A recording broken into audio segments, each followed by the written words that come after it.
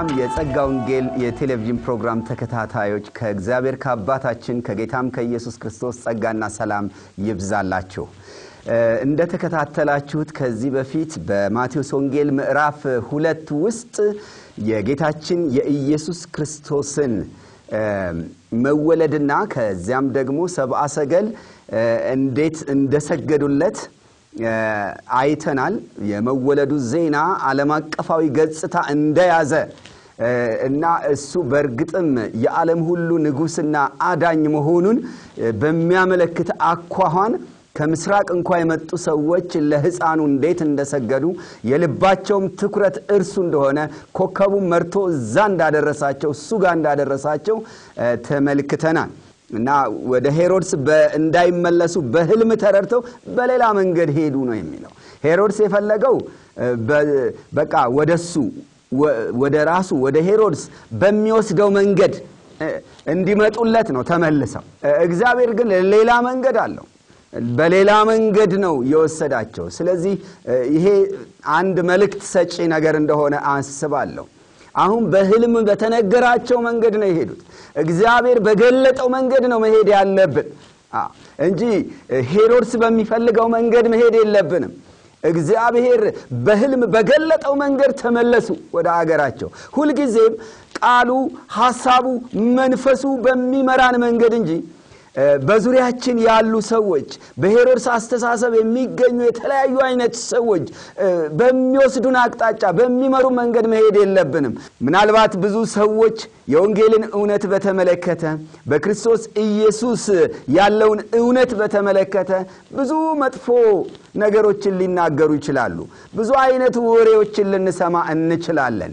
ነገር ግን በዚህ መንገድ መሄድ የለብንም እህስ እግዚአብሔር በገለጠው መንገድ በምንሄድበት ጊዜ ጭራሽ የምናገኘውን ሐሴት በቃሉ ሰምተን ከእግዚአብሔር እውነት ጋር ተስማምተን በቃሉ ተደስተን ስንመለስ የምናወራው ያየነውን ነው እንጂ የምናወራው የገባንን የተደሰትንበትን ነው እንጂ ሰዎች የሚያስቡትን አይሆንም። ክብር ለጌታ ይሁን። እስካሁን ድረስ ሄሮድስ በሕፃኑ ላይ ተንኮል ነው እያሰበ ያለው እንደ እባብ ነው እየተገለጠ ያለው። አያችሁ፣ በጣም የሚገርም ነው። ልክ የሰይጣን ባህሪ በተንኮል ነበር መጀመሪያ ያሰበው። እኔ እንድሰግድለት ሊሰግደው ሊሰግድለት አይደለም ሊገለው ነው የሚፈልገው። ግን እንድሰግድለት መታችሁ ንገሩኝ የሚለው ተንኮል ነው። ይሄ የእባብነት ባህሪ ነው። አሁን ይሄኛው ከሸፈ። ተንኮሉን እግዚአብሔር ሻረው። ከዚህ ተንኮል ሰብአ ሰገልን እግዚአብሔር አዳነ። አሁን ምን አደረገ? የእባብነቱን ባህሪ ሳይሆን የአንበሳነት ባህሪውን ለመጠቀም ተነሳ። ሰይጣን የሚውጠውን ሽቶን እንደሚያገሳ አንበሳ በአማኞች ዙሪያ እንደሚዞር ተነግሮናል። ልክ በዚህኛው የሰይጣን ባህሪ ነው አሁን የሚንቀሳቀሰው። ተንኮሉ እንዳልሰራለት ሲያውቅ ሄሮድስ ተበሳጨ።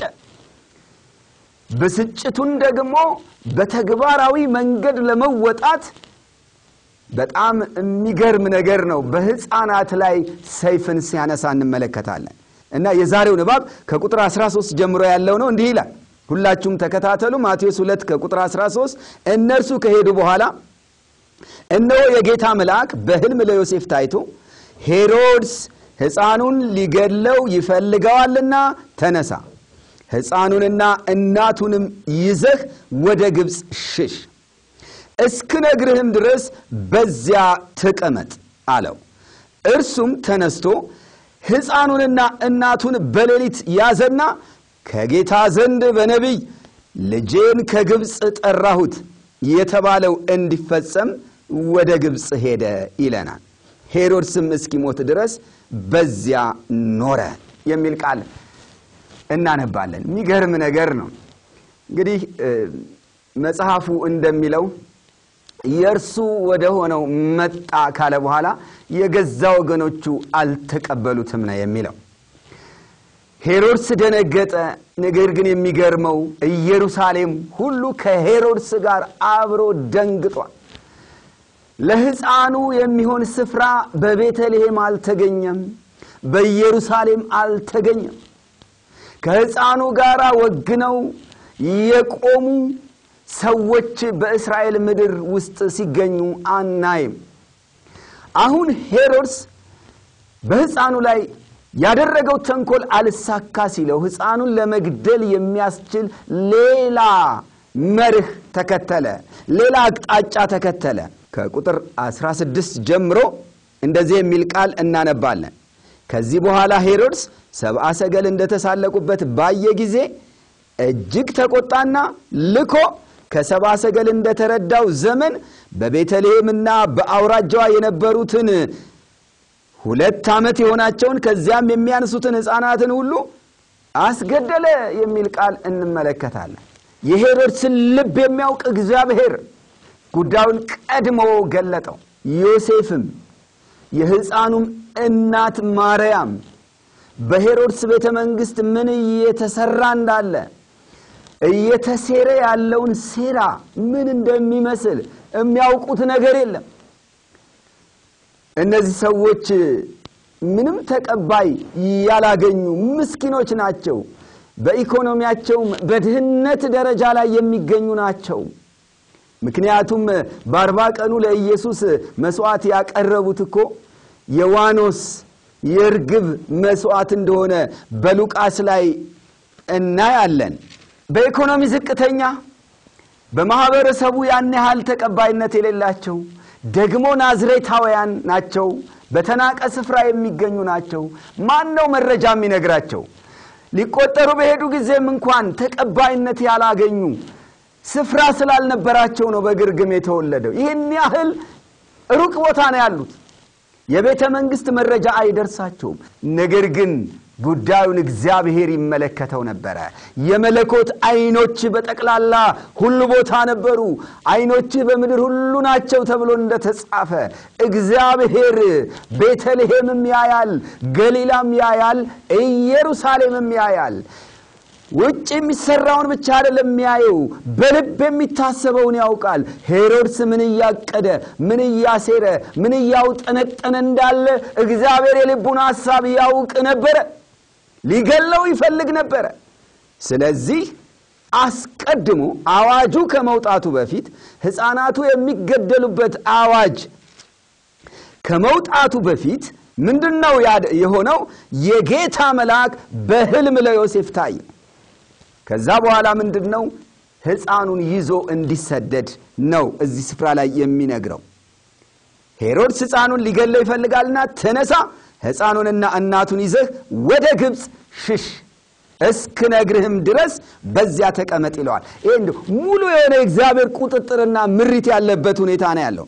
ምክንያቱም በምድር ላይ የእግዚአብሔር ዓላማና ዕቅድ እየተፈጸመ ነው።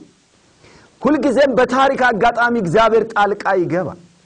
በአንድ ወቅት ጎቶሊያ የዳዊትን ዘር ልታጠፋ በነበረበት ጊዜ እግዚአብሔር ጣልቃ ገብቷል። ከዳዊት ቤት አንድ ሕፃን ልጅ እንደተረፈ እናውቃለን። አሁንም ደግሞ እዚህ ስፍራ ላይ በሙሉ የቤተልሔም ሕፃናት በእውነት በሚያሳዝን ሁኔታ በንጉሡ አዋጅ ሲገደሉ፣ እግዚአብሔር ግን በቤተልሔም የተወለደውን ሕፃኑን ኢየሱስን የሚሸሽግበትን ቦታ ያዘጋጃል። ወደ ግብፅ እንዲሰደድ ወደ ግብፅ እንዲሸሽ ለዮሴፍ ይነገረዋል። ይሄ ግን በሌላ በኩል የእግዚአብሔር ሐሳብ እየተፈጸመ ነው። እግዚአብሔር በነቢያት የተናገረው ቃል እንዲፈጸም እያደረገ ነው። ምንድን ነው እሱ? እዚህ ላይ ተጠቅሷል። ልጄን ከግብፅ ጠራሁት የተባለው እንዲፈጸም ወደ ግብፅ ሄደ ይለናል። ሄሮድስም እስኪሞት ድረስ በዚያ ኖረ ይላል። ይሄ ትንቢት የተነገረው በትንቢተ ሆሴዕ ላይ ነው። ትንቢተ ሆሴዕ ምዕራፍ 11 ቁጥር 1 ላይ እስራኤል ሕፃን በነበረ ጊዜ ወደድኩት ይልና ልጄንም ከግብፅ ጠራሁት ይላል። ስለዚህ ያንን ትንቢት አሁን እዚህ ጋር ማቴዎስ ጠቅሶ ለኢየሱስ ሲጠቅሰው እንመለከታለን። ኢየሱስ ክርስቶስ ግብፅ ወርዶ ከዛ ከግብፅ ሲመለስ ልጄን ከግብፅ ጠራሁት የሚለው ትንቢት በኢየሱስም ይፈጸማል። በጣም አስደናቂ የሆነ ሐሳብ ነው የሚሰጠን እዚህ ስፍራ ላይ። ምን ማለት ነው? ጌታችን ኢየሱስ ክርስቶስ ራሱን ከእስራኤል ጋር እንዴት እንደቆጠረ የሚያመለክት ነው። ከእስራኤል ጋር ራሱን ሲቆጥር እንዲሁ በእነሱ ላይ የሚነግስ በዳዊት ዙፋን ላይ በክብር የሚነግስና የሚቀመጥ ብቻ ሆኖ አይደለም እዚህ ስፍራ ላይ የተገለጠው። ወደ ዙፋን ከመምጣቱ በፊት ከፍ ወዳለው ክብር ከመምጣቱ በፊት ከእስራኤል ጋር የተካፈለው ያው በመከራቸው እንደሆነ ነው የምንገነዘበው።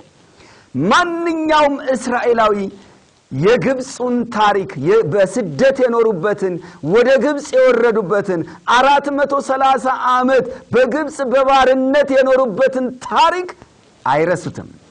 እግዚአብሔር ከዚያ በተዘረጋች እጅ በበረታች ክንድ እንዴት ነፃ እንዳወጣቸው እስራኤላውያን አይረሱም።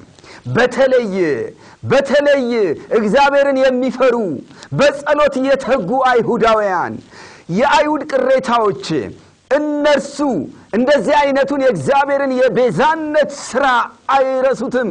ከግብፅ ምድር ከባርነት ቤት እግዚአብሔር ነፃ ያወጣበትን አሰራር ለዘላለም አይረሱትም። እናም ያኔ እግዚአብሔር ነፃ ሲያወጣቸው እስራኤልን እንደ ልጁ ቆጥሮ እንደሆነ መጽሐፍ ቅዱስ ያስነብበናል። ልብ በሉ ኦሪት ዘጸአት ምዕራፍ አራት ላይ እንደዚህ የሚል ቃል ለፈርዖን ሙሴ ይናገራል። እግዚአብሔር ነው ለሙሴ እንዲህ ብለህ ንገረው የሚለው እንደዚህ የሚል ቃል ቁጥር 22 እና 23 ላይ እናነባለን።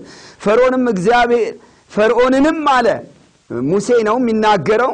ፈርዖንንም እግዚአብሔር እንዲህ ይላል እስራኤል የበኩር ልጄ ነው ይገዛልኝ ዘንድ ልጄን ልቀቅ አልሁህ፣ አንተም ትለቀው ዘንድ እምቢ አልህ።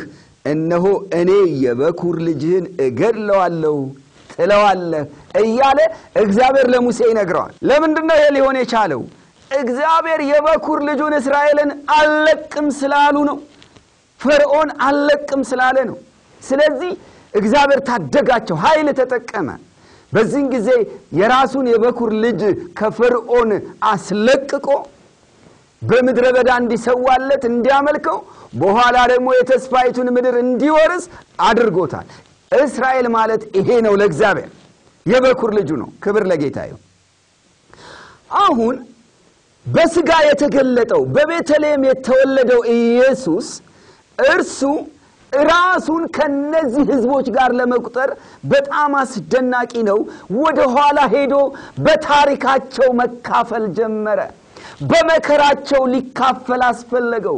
ግብፅን እሱም ሊገባባት ሊሰደድባት ተገባው።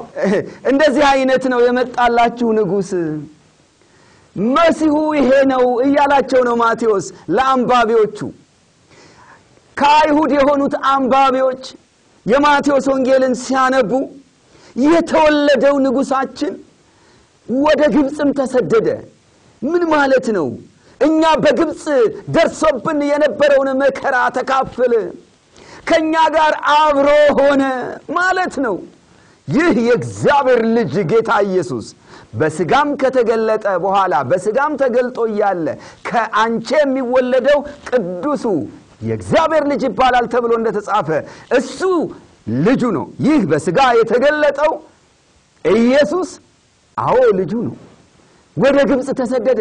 ለምን ቢባል የሄሮድስን አዋጅ መቀልበስ ወይም በመለኮታዊ ቁጣ የሄሮድስን ቤተ መንግሥት ማናወጥ አቅቶት አይደለም። ነገር ግን ከዛ ይልቅ በትንቢተ ሆሴዕ ያለው እስራኤልን በተመለከተ የተነገረው ያ ትንቢት በሱ እንዲፈጸም ተፈለገ። ኢየሱስ እስራኤልን ይህን ያህል ይወዳታል። በጣም ደስ የሚል መሲህ ነው። ደስ የሚል ንጉሥ ነው። አዎ ከወደረኞቻቸው ነፃ ሊያወጣቸው የመጣ ይህ ነፃ የሚያወጣ የሚቤዥ ንጉሥ ኢየሱስ ከሕዝቡ ጋር እንዴት በመከራ እንደተካፈለ የሚያመለክት ነው እና እዛ የእግዚአብሔር መልአክ እስኪነግረው ድረስ በግብፅ እንደቆየ እንመለከታለን። ነገር ግን ሄሮድስ ያው በብስጭት በእስራኤል በቤተልሔም ያሉትን ሕፃናት በጠቅላላ ገደለ ነው የሚለን አሁን ያነበብነው። ከሁለት ዓመት በታች የሆኑትን በሙሉ አስገደለ። ያን ጊዜ ደግሞ ሌላ ትንቢት ተፈጸመ። ምንድን ነው ሁለተኛው የተፈጸመው ትንቢት? በነቢዩ በኤርምያስ የተባለ ነው። ትንቢተ ኤርምያስ ምዕራፍ 31 ላይ ነው የምናገኘው ይሄንን ትንቢት።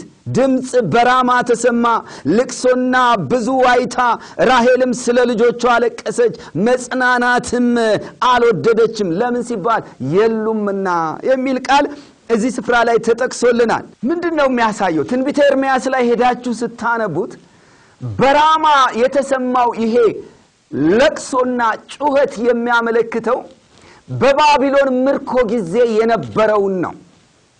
ናቡከደነጾር ሕዝቡን ወደ ባቢሎን በሚያፈልስበት ጊዜ ምንድነው ያደረገው? በዚች ራማ በተባለች ኮረብታማ ቦታ ላይ ነው ሕዝቡን የሰበሰበው።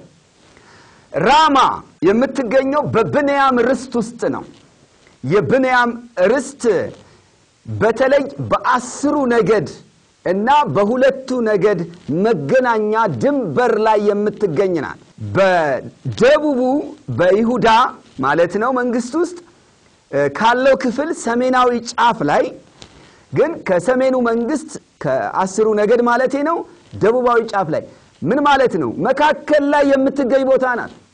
የብንያም ርስት ሰሜናዊ ጫፍ ላይ የምትገኝ ቦታ ናት ራማ። ይሄ ቦታዋ በጣም ጠቃሚ ቦታ ነው። ይሄን ሐሳብ ለመግለጽ እዛ ስፍራ ላይ ራሔል አለቀሰች ነው የሚለው። በጣም የሚገርም ነው። ራሔል ትጠቀሳለች እዚህ ቦታ ላይ። ድምፅ በራማ ተሰማ፣ ልቅሶና ብዙ ዋይታ። ለምን? ራሔል ስለ ልጆቿ አለቀሰች፣ መጽናናትም አልወደደችም ይለናል። ራሔል የያዕቆብ ሚስት ናት። ዘፍጥረትን ስታነቡ እንደምትረዱት በጣም የሚወዳት ሚስቱ ናት እና ራሔል መጽናናት እስከማትችል ድረስ አለቀሰች ይላል። እሷ ያው የሞተችው ያዕቆብ እንኳን ወደ ምድሩ ተመልሶ ተረጋግቶ መኖር ሳይጀምር ነው። መንገድ ላይ እንደሞተችበት እናውቃለን። ግን እዚህ ስፍራ ላይ የብንያም ምድርን አስቡት። በሁለቱ ነገድ በኩል ብንያም አለ። ብንያም የራሔል ልጅ ነው። በሰሜናዊ መንግስት ደግሞ በአስሩ ነገድ ውስጥ ማንን እናገኛለን? ዮሴፍን እናገኛለን። ምክንያቱም ኤፍሬምና ምናሴ የዮሴፍ ልጆች ናቸው። ሁለት ነገዶች አሉ በአስሩ ነገድ ውስጥ እነሱ የራሔል ልጆች ናቸው። በሁለቱ ነገድ ውስጥ ብንያም የራሔል ልጅ ነው። አሁን ቀደም ብሎ አስሩ ነገድ በአሦራውያን በሰባት ሀያ ሁለት ተማርከዋል። አሁን ደግሞ ሁለቱ ነገድ ራሳቸው ተሰብስበው በኤርምያስ ዘመን ራማ ላይ እየተሰበሰቡ አገራቸውን ጥለው ወደ ባቢሎን እንዲፈልሱ እየተደረገ ነው። ባቢሎናውያን መቅደሱን እያቃጠሉ ነው። ኢየሩሳሌምን እያጠፉ ነው። በዚህን ጊዜ ራማ ላይ ጩኸት ተሰማ፣ ለቅሶ ተሰማ፣ ዋይታ ተሰማ። በባቢሎን ምርኮ የተነሳ በጣም የሚገርም ነገር ነው እየሆነ ያለው። ራሔል አለቀሰች። በቃ በሰሜን ያሉትም ልጆቼ ተወሰዱ፣ አሁን ደቡብ ያለውም ልጄ ልጆቼ ተወሰዱ፣ ምን ቀረኝ የሚል ጩኸት ይመስላል። ይሄ ለቅሶ እንዲታወስ ያደርገዋል። በማን ምክንያት ነው አሁን የታወሰው? የቤተልሔም ሕፃናት ሲገደሉ ነው። ራሔል ደግሞ የተቀበረችው ቤተልሔም ነው። የቤተልሔም ሕፃናት ሲገደሉ የቤተልሔም እናቶች ጮኹ። ምን ማለት ነው? እዛ የተቀበረችዋ ራሔልም ጮኸች ማለት ነው።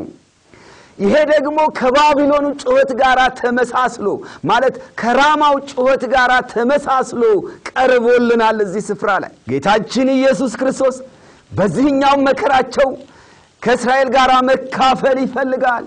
በእርሱ የተነሳ የመጣ መከራ ነውና ይሄን ጩኸትን ሊያስታውሳቸው ይወዳል ጌታ ኢየሱስ ክርስቶስ ማለት ነው። እዚህ ስፍራ ላይ ይሄ ይፈጸም ዘንድ በዚያ ሕፃናት ሲገደሉና እነዚያ ሕፃናት ለምን ሞቱ? በኢየሱስ የተነሳ በሕፃኑ በንጉሡ የተነሳ ነው የሞቱት። እንግዲህ ይሄንን በጣም ልናስተውለው ያስፈልጋል። በጌታ በኢየሱስ ክርስቶስ የተነሳ እኛም በዚህ ምድር ላይ በሄሮድሱ ዓለም ልንገፋ ብዙ መከራዎች ሊደርሱብን ይችላሉ። ከሐዋርያት ዘመን በኋላ የነበረችዋ ቤተ ክርስቲያን በኢየሱስ ክርስቶስ ስም የተነሳ የዚህ ዓለም ቄሳሮች ብዙ ግፍና መከራ አድርሰውባታል። ይሄ ምን ማለት ነው? ራሱ ኢየሱስ መከራ ተቀብሏል። እኛም ደግሞ ከእርሱ ጋር የሆነው የእርሱን መከራ አብረን እንካፈላለን ማለት ነው። ነገር ግን እግዚአብሔር ያለው ከመሆን አይቀርም። ሕፃኑ ግብፅ ገብቶ እዛው አልቀረም። ልጄን ከግብፅ ጠራሁት የተባለ ይፈጸም ዘንድ ጊዜው ሲደርስ ሕፃኑ ከግብፅ ሲመለስ እናያለን። ከቁጥር 19 ሄሮድስም ከሞተ በኋላ እነሆ የጌታ መልአክ በግብፅ ለዮሴፍ በሕልም ታይቶ የሕፃኑን ነፍስ የፈለጉት ሞተዋልና ተነሳ፣ ሕፃኑን እናቱንም ይዘህ ወደ እስራኤል አገር ሂድ የሚል ቃል በጣም ደስ የሚል ቃል ነው። እርሱም ተነስቶ ሕፃኑንና እናቱን ያዘና ወደ እስራኤል አገር ገባ። በአባቱ በሄሮድስ ፈንታ አርኬላዎስ በይሁዳ እንደነገሰ በሰማ ጊዜ ወደዚያ መሄድን ፈራ። በሕልም ተረድቶ ወደ ገሊላ አገር ሄደ። በነቢያት ናዝራዊ ይባላል የተባለው ይፈጸም ዘንድ ናዝሬት ወደምትባል ከተማ መጥቶ ኖረ ይላል። ክብር ለጌታ ይሁን። የስደቱ ዘመን አበቃ። ታላቁ ሄሮድስ ሞተ። የሕፃኑን ነፍስ የሚፈልጉት ሁሉ ሞቱ። ሁልጊዜ የመከራ ዘመን እንዳለ አይቀጥልም። ከኢየሱስ ክርስቶስ ጋር በጸናን ቁጥር የመከራው ጊዜ ደግሞ የሚያባራበት ወቅት ይመጣል። ወደፊት በሚመጣው ዓለምም የሚሆነው እንደዚሁ ነው። እንደ ሄሮድስ ያለ ኃይል ይነሳል። ያም የሚመጣው አውሬ ነው። በራእይ 13 ላይ የተጠቀሰው በዚያን ጊዜም እነሆ ሴቲቱ የወለደችውን ሕፃን ያሳድዳል ዘንዶው ታውቃላችሁ። ያም ምን ማለት ነው? እስራኤል የተቀበለችውን ኢየሱስ ክርስቶስን ያሳድዳል። ከዘሯ የቀሩትንም ምስክሮቹን የኢየሱስን ምስክሮች ያሳድዳል። ነገር ግን ሁሉንም ቢያደርግ እግዚአብሔር መሸሸጊያ ያበጃል። ክብር ለጌታ ይሁን። አዎ በምድረ በዳ ለሴቲቱም ሆነ ለዘሯ መሸሸጊያን አበጀ። ልክ በማቴዎስ 24 ላይ እንደተጠቀሰው በይሁዳ ያሉት ሁሉ ወደ ተራሮች ይሽሹ እንደተባለው መሸሻ ያዘጋጃል። አሁን ለኢየሱስ መሸሻ ነበረው። ከዛ ሄሮድስ ጊዜው አለፈ። ልክ እንደዚሁ በሚመጣው ዘመንም የአውሬው ዘመን ያበቃል። በአርማጌዶን ላይ ጌታ ኢየሱስ ራሱ በአፉ ሰይፍ ይሽረዋል። የዚያን ጊዜ የእስራኤል ጠላት የሆነውም የታላቁ የአሦር ኃይል ይመታል። ማንም ሳይረዳው ያለ እጅ ይሰበራል። አያችሁ፣ የሄሮድስ ስፍራ በሙሉ ይወገዳል። አዎ በእስራኤል ዙፋን ላይ የሚቀመጠውም የወደፊቱ የክርስቶስ ተቃዋሚ እኔ ክርስቶስ ነኝ እያለ የሚመጣውም እርሱ ከአውሬው ጋር ይያዛል። ከነ ሕይወታቸው ተይዘው ወደ እሳት ባህር ይጣላሉ። ልብ በሉ። የነ ሄሮድስ ዘመን የሚያልፍበት ጊዜ ይመጣል። አሁን አለፈ። ሕፃኑ መጣ። ክብር ለጌታ ይሁን። ሕፃኑ ተመለሰ። ጌታም ኢየሱስ ክርስቶስ ወደፊት በክብር ይገለጣል። ወደ እስራኤል ምድር የጽድቅ ፀሐይ ሆኖ ይመጣል። ከሰማይ ይመለሳል። ክብር ለጌታ ይሁን። አሁን ከዚህ ከትምህርቱ እንደምናየው ሕፃኑ ተመለሰና የት ነው የኖረው ብለን ስንል ናዝሬት ናዝራዊ ይባል ዘንድ ነው የሚለው በነቢያት ናዝራዊ ይባላል የተባለው ይፈጸም ዘንድ ናዝሬት ወደምትባል ከተማ መጥቶ ኖረ ይለናል። አርኬላዎስ በሄሮድስ ስፍራ ላይ ስለነበረ እነሆ ጌታ ኢየሱስ ክርስቶስ ደግሞ ወደ ናዝሬት ሄዶ ስፍራውን ሲይዝ ነው የምንመለከተው። እንግዲህ መጀመሪያ ዙፋን ላይ እንደመጣ ዙፋን ላይ አይደለም ጌታ ኢየሱስ የሚቀመጠው። በስጋ ሲገለጥ የሚጀምረው ከላይ ሳይሆን ከፍ ካለ ስፍራ ሳይሆን ከታች ነው፣ ከተናቀ ስፍራ ነው። ናዝሬት የሚለውን ቃል በምንሰማ ጊዜ ዮሐንስ ምዕራፍ አንድ እንደሚያስነብበን ምንድን ነው የሚገባ በተለይ ናትናኤል የተናገረውን ስንመለከት ከናዝሬት መልካም ነገር ሊወጣ ይችላልን ብሏል። ምን ማለት ነው? መልካም ነገር የማይጠበቅበት ቦታ ማለት ነው። ናዝሬት ትልቅ ነገር ይወጣል ተብሎ የማይጠበቅበት ታላቅ ነቢይ፣ ታላቅ ካህን፣ ታላቅ ንጉሥ ከዛ ይወጣል ተብሎ የማይጠበቅበት የተናቀ ስፍራ ነው እና ነቢያት ግን ጌታችን ኢየሱስ ክርስቶስ የተናቀውን ስፍራ እንደሚይዝ ቀደም ብለው በየስፍራው ተናግረዋል። እንደው የኢሳይያስን ብቻ ብናስታውስ ምንድን ነው የሚለው? የተናቀ የሕማም ሰው ብሎ ይጠቅሰዋል ጌታ ኢየሱስ ክርስቶስን በኢሳይያስ ምዕራፍ 53 ላይ ማለት ነው። በሌላ በኩል ናዝሬት የሚለው የቃሉን ትርጉም ደግሞ ስንመለከት ቁጥቋጥ ማለት ነው። እውነት ነው። ቁጥቋጥ የሚለውን ቃል ስትመለከቱት ከዛፎች ሁሉ ያነሰ ትንሽ ነገር ማለት ነው። ነገር ግን ጌታ ኢየሱስ ክርስቶስ በዚህ ምሳሌነት በነቢያት ተነግሮለታል እና በተለይ ኢሳይያስ ከዳዊት ቤት የሚወጣ ቁጥቋጥ፣ ኤርምያስም እንደዛው ቁጥቋጥ፣ ዘካርያስ እነዚህ ነቢያት በተለይ ኢየሱስ ክርስቶስን እንደ ቁጥቋጥ አድርገው አቅርበውታል። ከዚህ በፊት በዚሁ ፕሮግራም ዳሰነዋል እና ግን ያ ቁጥቋጥ ወደፊት ታላቅ በክብር የሆነ መንግስትን ይመሰርታል። የዘካርያሱ ትንቢት በተለይ ይህንን ይገልጸዋልና እስቲ እሱም ብቻ ላንብበው።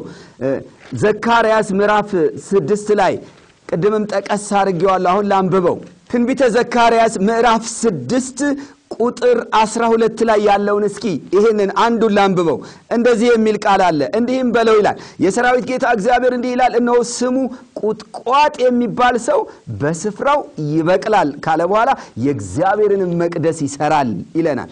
እርሱ የእግዚአብሔርን መቅደስ ይሰራል፣ ክብርንም ይሸከማል፣ በዙፋኑም ላይ ተቀምጦ ይነግሳል፣ በዙፋኑም ላይ ካህን ይሆናል የሰላምን ምክር በሁለቱ መካከል ይሆናል እያለ ይነግረናል። ክብር ለጌታ ይሁን።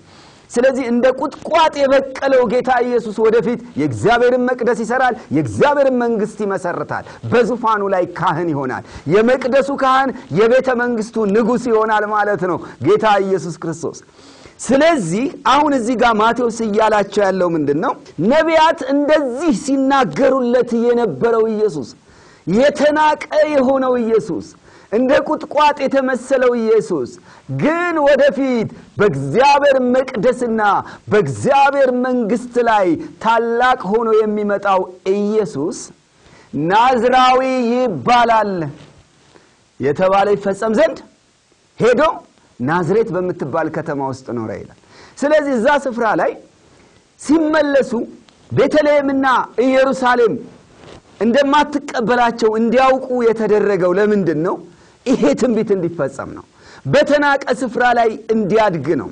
በናዝሬት ከተማ ውስጥ እንዲያድግ ነው። ከዛም የናዝሬቱ ኢየሱስ የሚለው ስም ናዝራዊ እንዲባል ማለት ነው። ናዝራዊ የሚለው ቃል በነገራችን ላይ ይሄ ጸጉሩን የሚያሳድገው ለእግዚአብሔር የተቀደሰና የተለየውን ሰው የሚያመለክት አይደለም፣ በብሉይ ኪዳን የተጠቀሰው ነገር ግን ናዝሬታዊ ማለት ነው። በናዝሬት ያደገ ማለት ነው። ናዝራዊ የሚለው ቃል የሚያመለክተው ይሄንን ነው።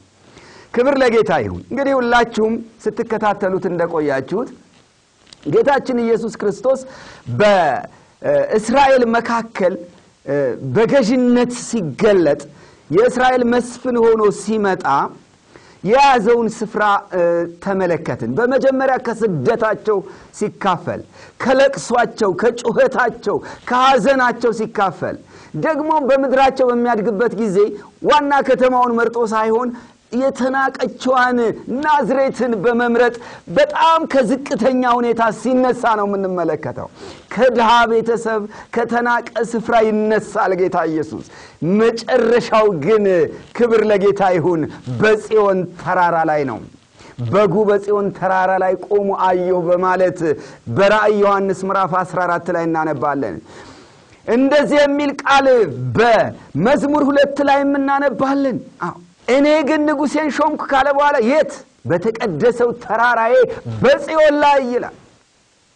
ስለዚህ ከቤተልሔም ግርግም የጀመረው ኢየሱስ፣ ወደ ግብፅ የወረደው ኢየሱስ፣ ከዚያ ተመልሶ በተናቀ ስፍራ በናዝሬት የምናየው ኢየሱስ ወደፊት በተቀደሰው ተራራ